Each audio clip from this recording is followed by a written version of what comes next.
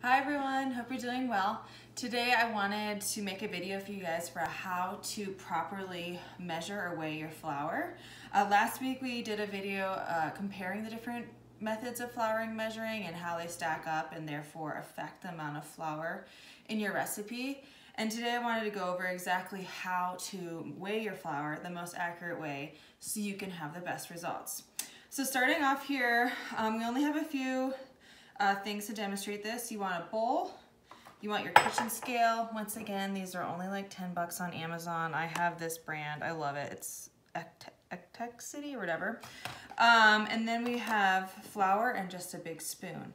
So what we wanna do to start, I always like to put my bowl on my scale at the beginning um, and then we'll turn it on. Putting the bowl on here will basically account for the weight of the bowl when you're measuring. Um, so that way you're not getting that weight, you're just getting the weight of the flour. If, let's say, you start your scale up without it, and you put your bowl on there, you'll see here, we just, we're at, right now we're getting the weight of the bowl. All you wanna do there is re-zero your scale. Um, you'll probably need to look up how your particular scale, um, which button's best, but we'll just re-zero that there so we get to see that it's zero grams.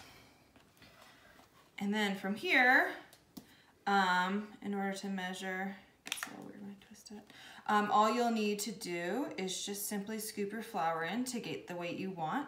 Um, keeping in mind that one cup equals 120 grams. So I'll just measure out a cup today.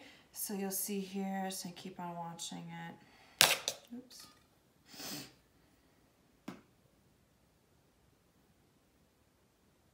Okay, I'm at 122, remove two grams.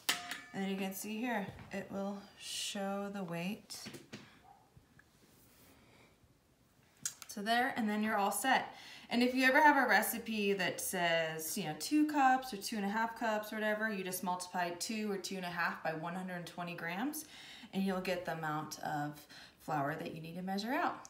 All right, thanks so much for listening. Have a great day.